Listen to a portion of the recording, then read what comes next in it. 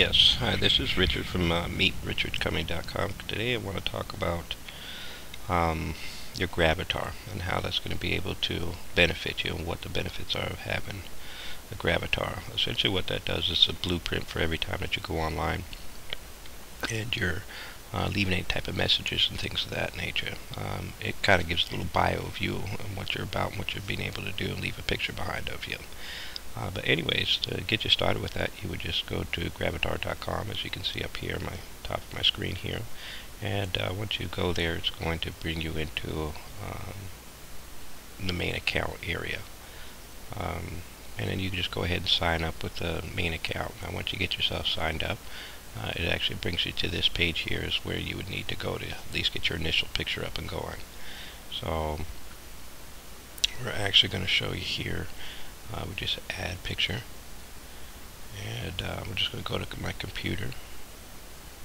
And then it's going to show you how you would do that here for you. And um, just go choose file so obviously I'm just going to choose an upload file from you know one of my pictures that I have just to kind of show you here. Um, we'll use this one here for you. And then you just click open. And then you click next. Okay and just give it a second it'll upload itself. So now you can see the picture and it's going to ask you to preview the picture what it's going to look like. Now obviously you want to get it something that looks decent and it shows you over in this area what it's going to look like as you're moving it along. So as you can see here this is what it would look like. You just go crop and finish. Then once you're cropping and finishing it's going to upload and save once again. It's going to ask you to grade it out so you can grade it G, grade it whatever you want. I'm going to give it a G rating here today. And um, then once you've done that, you can actually see it over here. Okay. Now then you're going to come back up to your account. And uh, you could put uh, your account. Give me a second here. You're going to go to edit profile if it decides it wants to work today. I don't know what's going on here. There it goes. Okay, so then you go into edit profile. Now I definitely do suggest that you do this because this is what, uh, you know, it's going to tell you what you're all about, what you're going to be able to do. So, and uh, you put a little bio here as you see it's coming up. Um, is put your name, obviously your first and last name, full name, uh, display name, uh, maybe your location, a little about me, then you just go ahead and click save your profile. Okay. Um, contact information, which is definitely important. Uh, you want to, you know, be able to have people contact you. So, you, you know, me, I definitely recommend sign up for Skype. Also, a personal phone number. You can put an email address, things of that nature. And then once again, you just uh, click add, and it'll auto automatically add it. Uh, verifying your services. This is a great tool here also. Uh, it verifies that you are who you are. Um, you can put uh, Facebook. I'll, I'll remove Facebook just to show you how that works here for you. Now, uh, you go down here to the drop down. And uh, let's see here, we'll click on Facebook. And you come over here, you click add. And um, it's going to add that for you here. So I'm basically going to sign you into your Facebook and ask permission, can it use, you know, uh, what can it use, things of that nature. So, okay, so uh, you can see here, you come back and it's already um, added my Facebook. Okay, now uh, definitely recommend that you go if you have a blog, Facebook. Uh, Google Plus is really getting important now because Google is actually changing a lot of their methods. Uh, they're kind of trying to compete with Facebook, so they're forcing a lot of uh, this Google Plus. So definitely want to look into that. I definitely recommend putting your tweet if you have a YouTube feed. Uh, go ahead and put that in there also. Um, then I will continue on to my links. Um, I put my link in here, so you would just put uh, your website link if you have a website. Um, so then when people come to you, it'll it'll take them right directly to that link, or you can just add more links, as many as you have. Custom background. This is a pretty neat feature, and then you you kind of see how I have uh, my logo on the back edge of this.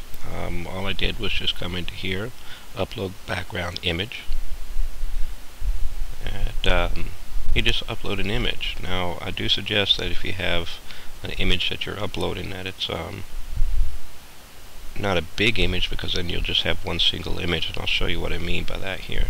I'm going to go into my computer, and if you're looking under my logos, as I come down here, you're going to see that I have different sizes. You know, this is a uh, almost like a banner, uh, different what they call banner sizes. So what I recommend here, this is like a a 40. You come over here, you click on that, open, and then just upload. And then that what that's going to do for you is allow you to have that background here, and it's going to show you here in just a second.